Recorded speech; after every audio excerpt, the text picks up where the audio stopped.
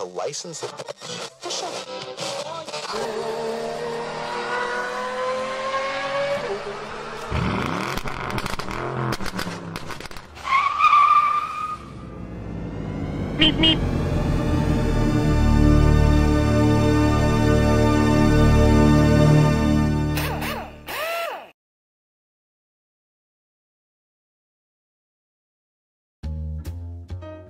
Hi, everybody, and a warm welcome back to Maple Leaf Matchbox Makeovers. I'm Andrew, and on the bench today is a 1 to 64 scale Welly Lamborghini Murcielago.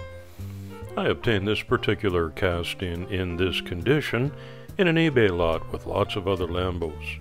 You can see that the paint is chipped and peeling, and the axles are loose, so it's not really a straight runner. The scissor doors don't open on this casting, which is too bad.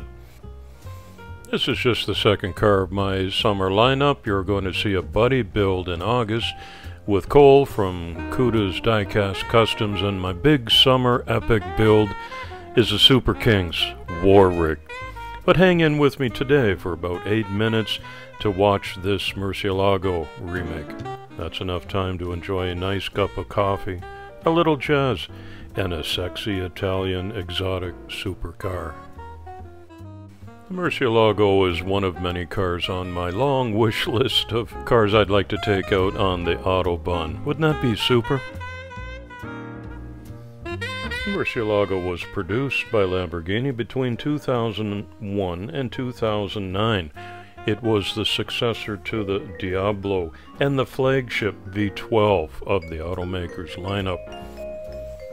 This particular model was cast pretty truly, so there wasn't a lot of bare metal detail to be done. And after degreasing and priming, I am applying a base coat of metallic silver with a rattle can, and I've got a special application in mind today and a little bit of an experiment.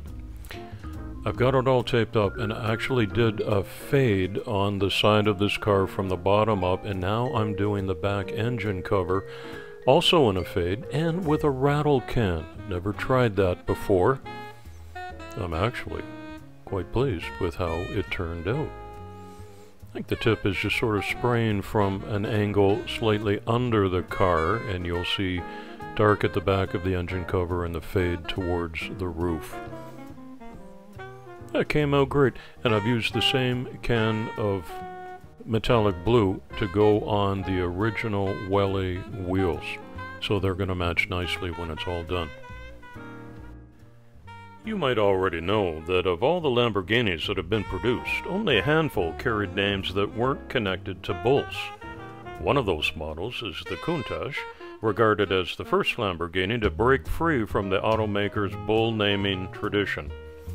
Murcielago is the Spanish word for bat. In the Castilian Spanish, spoken in most of Spain, the word is pronounced murcielago. However, the Italian automaker often uses the southern Spanish pronunciation murcielago, which is caught on the best.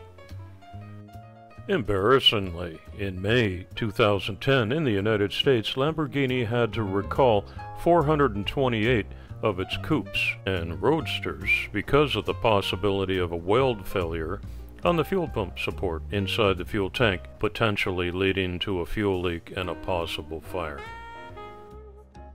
Some of the final exterior detail work is being done now by hand. With a paintbrush, you see I've used semi-gloss black on some of the intakes and Tamiya clear red to give the taillights an authentic look.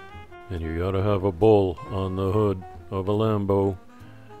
It is so small I needed a magnifying glass to see if I had it right side up or upside down.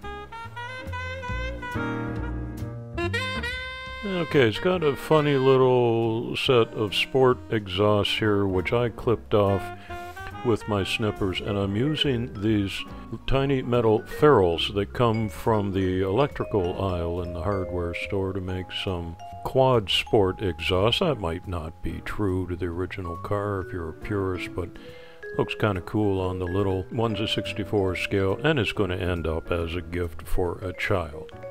and hopefully have a new and a long life as a exotic carpet racer. Windshield cleans up nicely with a little bit of plastic polish, as you see right here. And almost every picture of the Lambo is with the doors up, like that. Too bad it doesn't happen on this little casting. Everything is set and cured and ready for reassembly. I've already put the plastic interior onto the chassis and the wheels are attached so this just clicks in. But originally the posts were too small to drill out. I didn't even risk that for fear of a blowout.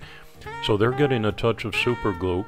And what I've done is taken my regular machine screws 256 size and cut the threads off a little bit. So essentially it's just the head that's left that covers the uh, rivet holes. For a cosmetic look. There's the spray can fade on the side. Wouldn't you agree that came out very, very well for a spray can? In the wheels match, there's the sport exhaust and the tail lights and a vanity plate. A little bit of detail on the bottom and it's a great looking car. It was rough as most of the cars I get are in their original condition when they come to me, but that's what this channel is all about. And I most enjoy taking something from that condition and making it look like this. All finished. And the Murcielago looks ready for the track again. I'm very happy with the final result of this and I'm sure it will make a delightful toy for someone. If you enjoy this kind of video, I invite you to give it a thumbs up and hit the subscribe button and come back regularly to see more of this type of content. I've got a whole summer lineup ready, regular Saturday uploads, so hit the notification bell and you won't miss a thing. Off it goes to my local thrift shop as a gift and I wish you a wonderful day today and a great start to your summer. It's coffee time.